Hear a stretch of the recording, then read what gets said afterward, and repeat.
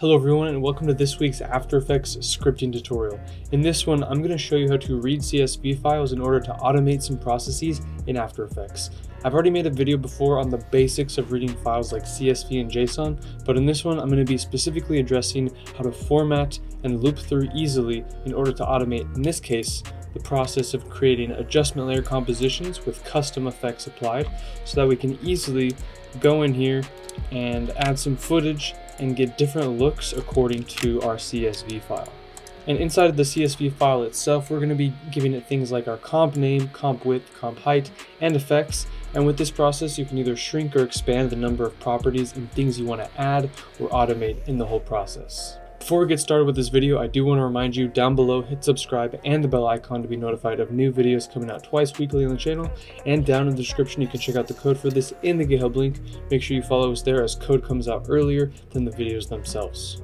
Also in the description, follow us on Instagram for other live updates. If you're not a member of our Discord server, come and join and get help with scripting, extensions, plugins, expressions, and much more. And if you'd like to help support us on YouTube, you can become a member, supporter, premium supporter, or VIP, get cool perks, and help us out financially. So to visualize our CSV for today, I've loaded it up in Google Sheets just to make it a little bit nicer looking than uh, Notepad. And we have four columns. One contains the comp names, one contains the comp width, one contains the comp height, and one contains the effect. So in theory, what you could do if you wanted is just generate a ton of these based on your specifications and have it auto-populate and create as many different compositions as you want. This would theoretically allow you to make thousands or even more uh, compositions with these effects and then sort of randomly generate things if you want to take it a step further. Inside of After Effects, we don't really need anything, but I'm going to keep a piece of footage in here that I can easily drop into the layer because we're going to create an adjustment layer which has these effects on it. So you can also get this CSV file as a test. You might notice uh, there's a NT day night uh, match name here. That is something that you probably don't have, so you can just replace it with a different effect. But all of our effects are going to be based on the scripting match names. So to get started with the script itself, I'm going to create a variable called CSV file, and we're going to set this equal to the file uh, that we're reading in itself. In my case, I have mine in my documents called comps.csv. So I'll set it to documents slash comps.csv. And now I'm going to create an array called CSV data make it empty. We're going to read in all the data from our CSV into this. And because we already know what these values in the first row are going to be, we're going to be reading it row by row. Uh, we can start from row 1 to save a little bit. So way I'm going to do a loop through my entire CSV is by doing a do while loop. And we want to do something in brackets while we're not at our CSV file dot end of file. What end of file means is when you're in the process of reading a document, you can go line by line and until you reach the end of the file, that's basically what it's going to do inside of here. So we then need to take our CSV file itself and open it um, the open method takes uh, an argument we can write or we can read inside of it. We want to read all the data inside of here. And now, now we have it open, we can go line by line and say CSV data.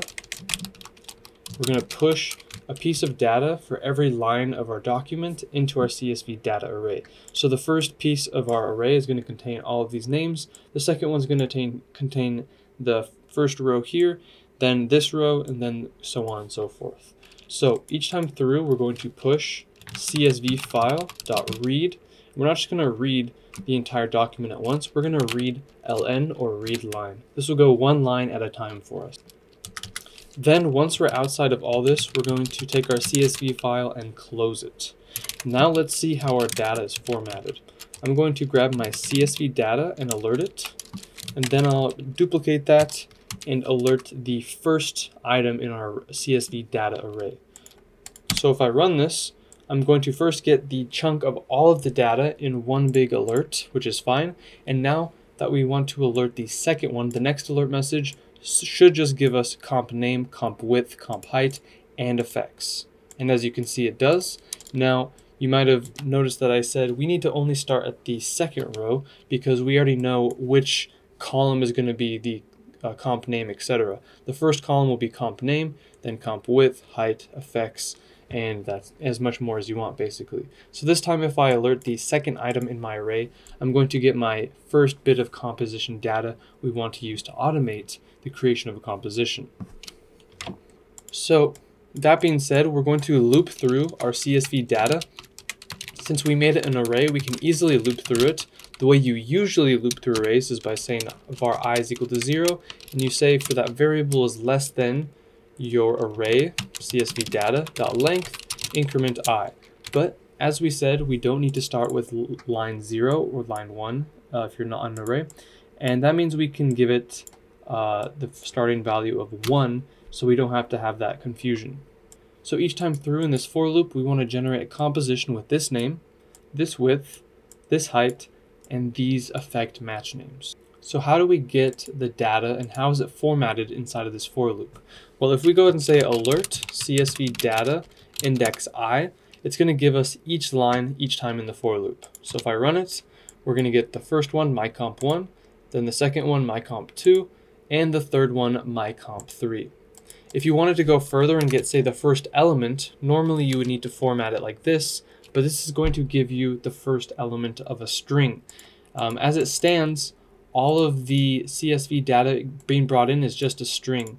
It's not separated out quite yet into these different columns. Everything is combined into one single line of text. So the way we're going to uh, get this data out is by creating a split. So I'll create a variable called this CSV row and inside of here, I'm going to set this CSV row equal to our current CSV data line we got. But to convert this string into an array, we're going to split it by a comma. Now the reason we split it by a comma is because we have a comma separating our comp name, comp width, comp height, and effects. So now if we alert this CSV row index 0, we should get just the composition names. We have mycomp1, mycomp2, and mycomp3. So just as a guide so we don't forget, what we can do is say index 0 is going to be comp name, index 1 is comp width, index 2 is the comp height, and index 3 is our effects array. So now let's create a couple more variables. Again, we're going to need to be creating a composition and we're applying effects. So I'm going to create a variable called this comp and this effect. Each time through, I'm going to set this comp equal to app.project.items. We're going to add a comp. Now I'll go ahead and load up the scripting guide and I will search for add comp. And I just want to get the right parameters here. The first thing we need is the name. Well, we already know what our name is. It's this CSV row. If we look at our guide, it's index 0. So that's our name. Then we have our width. Our comp width is the same thing, but the next index up. So we'll say this CSV row, index 1. And then we'll go ahead and get the height, which we know is also the next one. And then we need pixel aspect ratio. The duration we'll just make 10 seconds. And the frame rate we'll just say 30 Of course, if you wanted, you could add this information as well into your CSV and read that in. Next, we need to create an adjustment layer in order to apply these effects to. So I'm going to create another variable called this adjustment layer. And I'm going to set this equal to, inside my for loop, equal to um, our composition. So this comp dot layers, we're going to add a solid. We need to add a solid because there's no function in order to create just an adjustment layer. It's a property of any layer that you can create. So we first need the fill color. We'll make it white and we'll just reference the guide here. We need the solid layer. We'll just call this adjustment layer. We need the width and height, which we'll grab this comp.width, this comp.height, turn on word wrap, and then the pixel aspect ratio, which we'll put at 1. Now to make this an actual adjustment layer, we'll say this adjustment layer dot adjustment layer is equal to true. And that's all we have to do to make it an adjustment layer, just set the property equal to true. Then let's go ahead and open up our composition. We'll say this comp dot open in viewer. Now before we run this, I'm going to add one more thing before we run this little test. That's an app dot begin undo group And at the very end of everything, we'll say app.end undo group. The reason we're going to say this is so that we can easily undo everything. If we create like 100 comps, we can hit Control Z and in one click get rid of everything. So I'm just going to call this uh, CSV comp creation. And let's go ahead and run this. You can see we get an error, cannot call add comp because of parameter 3. 1080 is not an integer. So this CSV row 2 is not an integer. That probably means we need to parse it from a string to an integer. So for each of the width and height, I'm going to say parse int, and this will convert any string into an integer. So I'll say parse int for the width and height, and now try it. And now you can see we have three compositions created, an adjustment layer that is an actual adjustment layer. And now we just need to go through and apply these effects based on their match names. Now we're going to get a tad fancy for a second and I'm actually going to change this effect. Actually, no, I'll add another variable called these effects. That's going to be an empty array. In order to extract the effects out of this sort of fake array I've made, I, instead of using commas, I've used this vertical line as a separator because CSVs are already separated by commas, and I've surrounded everything in brackets. Now, we need to basically parse this out into an actual array. The way we're going to do that is by saying these effects is equal to, and our index is number 3. So we'll say this CSV row 3, and we need to slice it up first. Slice, you need to give it A and B, which is the start and end point from which you will slice it. So we need to basically ignore the brackets, and to do that, we start at index 0, and 1 will be after the bracket. So we start our cut at 0, or sorry, 1, and then we need to start the end of the cut, not at the very end, but at the end minus 1. So I'll say the CSV row dot length minus 1. So that will give us the length of the entire string of this and subtract 1 from it. That will basically give us this string here, which we can then split like we did with the comma separated values, but split it by this vertical line. So let's go ahead and just make sure we're getting these effects correctly first. Say alert these effects. You can see we get just the match names with the lines in between. And if you just have one, of course, there's no line in between. So that's perfect. You can see we can quite quickly and easily undo all of that work we did because we created the undo groups. So now that we know we have that, we're going to, at the end of all that, split it by that character. And that will create an array based on the different values separated by that vertical character. So now I can say these effects 0 and get the first value, or these effects 1 and get the second value. So if I run this, you can see we get Adobe Glow 2, Adobe Gaussian Blur 2, and in the second example we might get an error because there's not two undefined we just get, that's good. And as you can see, we can get all those effects. So now that we have them in array form, you know exactly how to loop through them. You can say for var i is equal to 0. And actually we want to use a different variable because we are already inside of a for loop with the i variable.